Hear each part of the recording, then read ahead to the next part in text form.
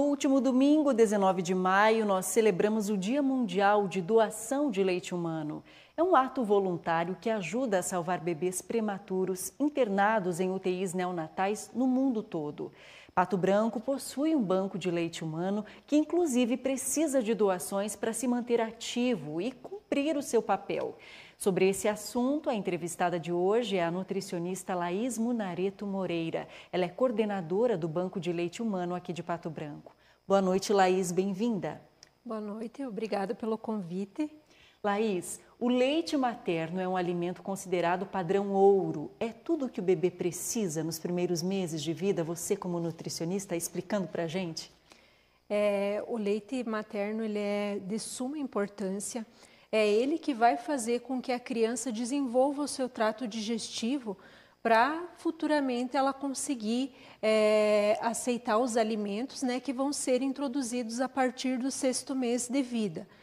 E é a primeira vacina que a mãe pode oferecer para o bebê. Vai é, favorecer a imunidade, é, o a proteção contra doenças, é, otites, dores de garganta, infecções no geral.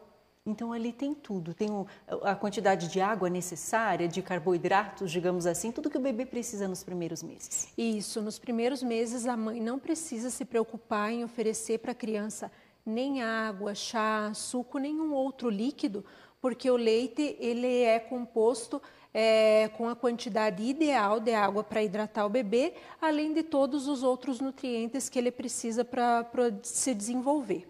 Pato Branco conta com o único banco de leite humano aqui da nossa microrregião e é o único banco de leite em funcionamento no momento na região sudoeste. Hoje, Laís, como estão as doações? Né? Quantos bebês vocês conseguem atender ou quantos poderiam atender se tivesse mais doações?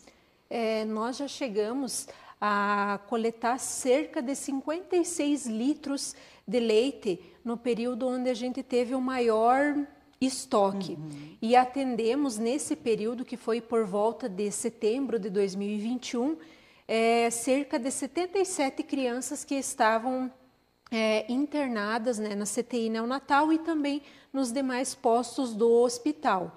Atualmente, no último mês, a gente conseguiu somente 12 litros de leite. Muito pouco, né? Muito pouco. E atendemos cerca de 30 e poucas crianças, porque agora nós tivemos que priorizar be os bebês que estão na CTI neonatal e não conseguimos mais fornecer para alojamento conjunto, é, para os demais postos né, uhum. de, de internação no hospital, que mesmo a criança não sendo baixo peso nem prematuro, a gente conseguia atender com o leite humano também. Entendi. É, vocês dependem da ajuda voluntária de mulheres que estão amamentando. Quais são os critérios para uma mãezinha que está nos acompanhando aqui pela TV Sudoeste? Ela consegue alimentar o seu bebê, sobra leite. Quais são os critérios para essa mulher se tornar uma doadora para o banco? Então, quanto mais a, a mãe é, amamentar, estimular, ela vai ter uma produção melhor de leite. Então, tendo essa, essa sobra, ela tendo a saúde em dia, uhum. É, feitos testes de sífilis, HIV e HBsAg durante a gestação, a gente utiliza a carteirinha dela, uhum. se o bebê for ainda menor que seis meses. E se ela já tiver com um bebê maior de seis meses e quiser iniciar a doação, é, a gente vai pedir para ela repetir esses testes uhum. rápidos e estando tudo ok, ela vai poder fazer a doação de leite. Tá certo. Assim que o leite chega até o banco, por quais processos ele chega? Acho que é importante a gente explicar para a população que não é do jeitinho que a mamãe doou esse leite que esse leite vai para os bebês internados. Vocês têm todo um processo bem rigoroso para que esse leite seja seguro para ser fornecido, né? Isso. Muitas mães ainda têm medo de receber o leite do banco por não saber todo o processo. Uhum. Então, quando a gente recebe o leite, a gente faz a inspeção visual, é, vendo se tem sujeira, é, cabelo, qualquer é, dano no vidro, uhum. a gente vai descartar. É, quando a gente começa o processo de pasteurização, a gente testa a acidez do leite Se ela for maior que 8, também o leite não segue o processo adiante, é eliminado. É, faz o crematócrito, que é para saber qual quantidade de gordura que tem naquele leite, e depois da pasteurização, a gente faz o microbiológico, que é para confirmar mesmo se o leite foi efetivamente pasteurizado, que o que, que é a pasteurização? O leite atingir a temperatura de 62 graus e meio e permanecer nessa temperatura durante meia hora.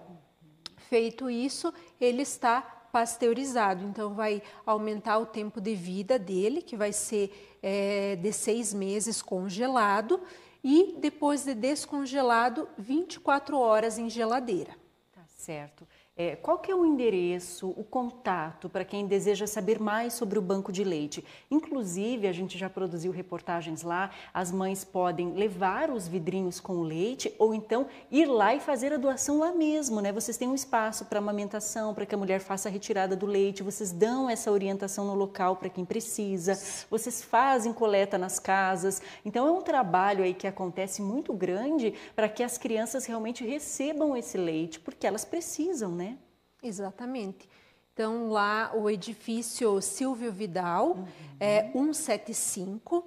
O banco de leite ele não fica. Tem algumas pessoas que acham que ele fica dentro do hospital, mas por questão de espaço físico não foi possível. Então, Silvio Vidal 175 na sala 203, segundo andar. O telefone para contato ele é tanto é, fixo quanto WhatsApp. 46 3220 3509.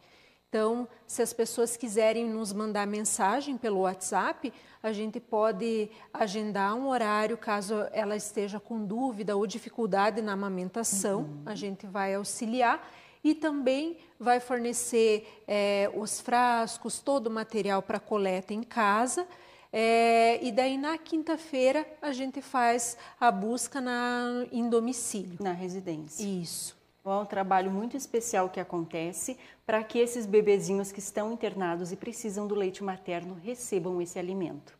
Sobre doação de leite humano, eu entrevistei a nutricionista Laís Munareto Moreira, que é a coordenadora do Banco de Leite Humano aqui de Pato Branco. Laís, mais uma vez, muito obrigada. Imagina, obrigada a você pela oportunidade e pelo convite em falar sobre o banco de leite para as pessoas conhecerem. Obrigada.